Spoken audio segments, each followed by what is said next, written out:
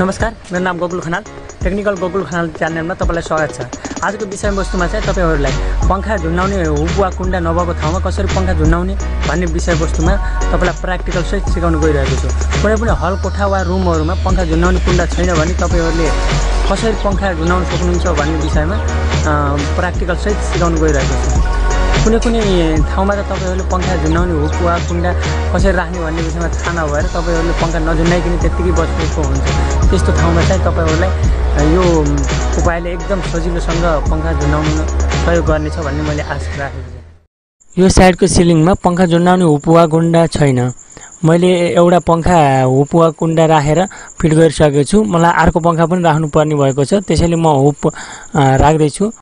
हामीलाई हुप वा कुन्डा राख्नको लागि एउटा यस्तो हुप चाहिन्छ। यो हुप वा कुन्डा चाहिँ मार्केटमा विभिन्न किसिमका साइजहरूमा पाइन्छ। आठ एमएम दस एमएम बाह्र एमएम चौध एमएमसम्मको पाइन्छ। तपाईँलाई पङ्खा झुन्डाउनु हो भने आठ र बाह्र एमएमसम्मको लिन सक्नुहुन्छ। अनि झुम्मरहरू झुन्डाउनु छ भने पनि यही साइजकै ल्याउनु सक्नुहुन्छ? त्योभन्दा हेभी लोडहरू झुन्डाउनको लागि चाहिँ तपाईँले चौध एमएमकै ल्याउनु पर्ने हुन्छ। मैले यहाँ चाहिँ आठ एमएमको कुन्डा लिएको छु। आठ एमएमको लागि दस एमएमको ड्रिल बिट लाग्छ। त्यसैले मैले दस एमएमको ड्रिल बिट र हेम्बरिङ ड्रिल मेसिन ल्याएको छु। यति भइसकेपछि हामीले माथि सिलिङमा होल गर्नुपर्ने हुन्छ। त्यसको लागि तपाईँले सबभन्दा पहिला ड्रिललाई लाइन सप्लाई दिइसकेपछि स्विच अफ गरेर तपाईँले ड्रिल बिट हाल्नुपर्ने हुन्छ। जसरी मैले एमसिबी झारेर ड्रिल बिट हालेको छु तपाईँहरूले पनि त्यस्तै किसिमले राख्न सक्नुहुन्छ। मार्केटमा फेभिक्विक वा फेभिकल वा मेटल फेभिकल भन्ने एउटा पेस्ट पाउनुहुन्छ जसलाई लिएर तपाईँले फ्यानको कुन्डाको टुप्पामा लगाएर ठोक्नुभयो भने एकदम बलियो हुन्छ। त्यो चाहिँ एकदम बलियो हुन्छ त्यो झ्याप्प निस्किँदैन। यो यहाँ चाहिँ मैले मार्केटमा नपाएकोले यत्तिकै लगाएर तपाईँहरूलाई सिकाउँदैछु। अब हामीले एकदम सुरक्षितसित अड्डिएर सिलिङमा होल गर्नुपर्ने हुन्छ। होल गर्ने क्रममा चाहिँ ड्रिल मेसिनलाई एकदम सिधा गरेर होल गर्नुपर्ने हुन्छ। यदि तपाईँहरूले बाङ्गी गरेर होल गर्नुभयो भने फ्यान कुन्डा पनि बाङ्गी ठोकिन्छ। त्यसले गर्दा एकदम सिधा गर्नुपर्ने हुन्छ। यदि कहिले काहीँ बाङ्गी भयो भने ड्रिल बिट पनि भाँचिने सम्भावना हुन्छ। त्यसले गर्दा एकदम सुरक्षितसँग सिधा ठोक्नुपर्ने हुन्छ वा होल गर्नुपर्ने हुन्छ। जसरी मैले गरेको छु। तपाईँ यस्तो ड्रिल गर्ने क्रममा के चिजमा चढ्नु भएको छ? त्यो चाहिँ एकदम बलियो हुनुपर्छ। नत्र तपाईँको भाँचिने पल्टिने जस्तो डर हुन्छ। किनभने ड्रिलले एकदम थर्काएर बल गरेको हुन्छ। त्यसले गर्दा तपाईँले एकदम बलियो चिजमा वा टेबल घोडा घडीमा चढ्नुपर्ने हुन्छ। तपाईँहरूले पाल गर्दा चाहिँ कुन्डा नापेर गर्नुपर्ने हुन्छ। बढी भयो भने पनि गाह्रो हुन्छ। जसरी मैले यहाँ नापेको छु त्यसै गरेर तपाईँहरूले पनि नापेर होल गर्न सक्नुहुन्छ। यदि तपाईँले कुन्डाभन्दा बढी होल गर्नुभयो भने त्यति राम्ररी टाइट हुँदैन। यदि कम भयो भने पनि राम्ररी टाइट हुँदैन। त्यही भएर एकदम नापेर बराबरमा होल गर्नुपर्ने हुन्छ। होल गरिसकेपछि तपाईँहरूले फ्यानको कुन्डाको टुप्पामा मेटल फेभिकल लगाएर ठोक्नुपर्ने हुन्छ। यहाँ मैले मार्केटमा नपाएकोले लगाएको छैन। त होल गरिसकेपछि तपाईँहरूले फ्यानको कुन्डालाई हल्का खोलेर हल्का यस्तो तरिकाले हल्का खोलिसकेपछि बिस्तारै पालमा राखेर बिस्तारै माथिबाट ह्याम्बरले नआत्तिकन आरामले बिस्तारै ठोक्नुपर्ने हुन्छ। बिस्तारै ठोक्दै गइसकेपछि मेटल ग्रिप चाहिँ पालमा बिस्तारै घुस्दै जान्छ अनि ठिक्क ठाउँमा पुगिसकेपछि वा पुरै मेटल ग्रिप घुसिसकेपछि हल्का कस्नुपर्ने हुन्छ। कस्नको लागि चाहिँ यस्तरी माथिको ग्रिपलाई होइन कि माथि माथि रहेको नटलाई चाहिँ घुमाएर टाइट गर्नुपर्ने हुन्छ। यस्तै हो यस्तै तरिकाले जसरी मैले टाइट टाइट भइसकेपछि माथि रहेको बोल्टलाई चाहिँ हल्का खोलेर फेरि टाइट गर्नुपर्ने हुन्छ। जसरी यहाँ मैले माथिको बोल्ट खोलेर फेरि टाइट गर्न लगाएको छु तपाईँहरूले पनि यस्तै किसिमले टा खोलेर टाइट गर्नुभयो भने एकदम राम्रोसँग टाइट हुन जान्छ। यसरी माथिको नट र बोल्टलाई घुमाएर फेरि हल्का हल्का ठोकेर जसले ठोक्नु हुँदैन फेरि हल्का ठोकेर घुमाइसकेपछि एकदम टाइट हुन्छ।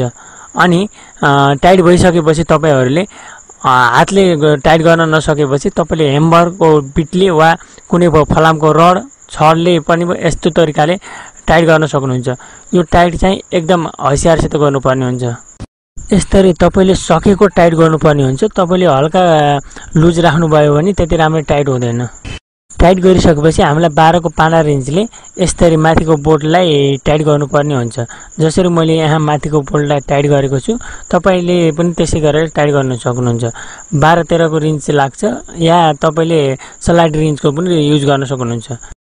यसरी टाइट गरिसकेपछि एकचोटि राम्रोसँग टेस्ट गर्नुपर्ने हुन्छ। टेस्ट गर्नलाई तपाईँको वेट बराबर उठाएर वा झुन्नेर वा वान अफ गरेर टेस्ट गर्नुपर्ने हुन्छ वा दुईजना झुन्नेर टेस्ट गर्नुपर्ने हुन्छ। जसरी मैले यहाँ मेरो वेट बराबर झुन्नेर वान अफ गरेर चेक गरेको छु तपाईँहरूले पनि त्यसै किसिमले चेक गर्न सक्नुहुन्छ।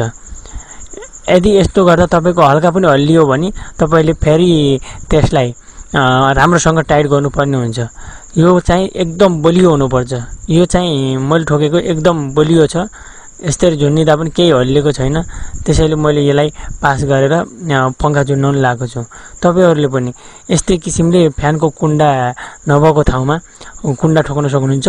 तथा कुनै पनि रुमको बिचमा फ्यान कुन्डा वा हुप छैन भने वा साइडमा परेको छ भने एकदम सेन्टरमा लिएर यस्तै किसिमको फ्यान कुन्डा ठोक्न सक्नुहुन्छ र फ्यान झुन्डाउन सक्नुहुन्छ। तपाईँहरूले फ्यान झुन्डाउने क्रममा चाहिँ एकदम सेफ्टीसँग झुन्डाउनु पर्ने हुन्छ। सबै लाइन अफ गरेर मात्र फ्यान झुन्डाउनु पर्ने हुन्छ। फ्यान झुन्डाउँदा माथि लगाउने नट चाहिँ एकदम टाइट गर्नुपर्ने हुन्छ। जसरी मैले यहाँ टाइट गरेको छु पलायरको सहायताले। तपाईँहरूले पनि त्यस्तै किसिमले राम्रोसँग टाइट गर्नुहोला। अनि तपाईँहरूले नट लगाइसकेपछि त्यहाँ एउटा पाल हुन्छ। पालमा चाहिँ एउटा तारको कुनै क्लिप हुन्छ। वा क्लिप नभए तारलाई छिलेर हालेर पनि राम्रोसँग घुमाएर लगाइदिन सक्नुहुन्छ। यदि त्यो भयो भने तपाईँहरूको कुनै बेला नट खुल्यो भने पनि पङ्खा झर्न पाउँदैन। त्यसैले गर्दा त्यो चाहिँ अनिवार्य लगाइदिनु पर्ने हुन्छ। वा लगाउनु पर्ने हुन्छ। त्यति गरिसकेपछि पङ्खालाई दिने लाइन सप्लाईका दुईवटा तारहरूलाई चाहिँ एकदम राम्रोसँग जोड्नु पर्ने हुन्छ। त्यो चाहिँ एकदम टाइटसँग पलायरको सहायताले एकदम टाइटसँग जोडेर टेप गर्नुपर्ने हुन्छ। नत्र भने तपाईँको त्यहाँ स्पार्क भएर पछि आगाका झिल्काहरू निस्किने वा तार जल्ने जस्तो समस्या हुन्छ। त्यसैले एकदम टाइटसँग गर्नुपर्ने हुन्छ र र त्यो तार छिलेर जोइन गरेको ठाउँमा इन्सुलेट गर्नुपर्ने हुन्छ। कालो टेप वा कुनै इन्सुलेट पेपरको सहायताले पनि गर्न सक्नुहुन्छ। यहाँ मेरो सम्पूर्ण काम सकिसकेको छ। यो साइडमा दुईवटा फ्यान एकदम राम्रोसँग नाचेको छ। तपाईँहरूले पनि यस्तै किसिमले लगाउन सक्नु। यस्तै किसिमका घरमा हुने इलेक्ट्रिक फल्ट सम्बन्धी नयाँ नयाँ भिडियो हेर्नको लागि टेक्निकल गोकुल खनाल च्यानललाई सब्सक्राइब गर्न नभुल्नुहोला र साइडमा रहेको बेल आइकनलाई पनि दबाउनुहोला। भिडियो मन परे लाइक सेयर गर्नुहोला।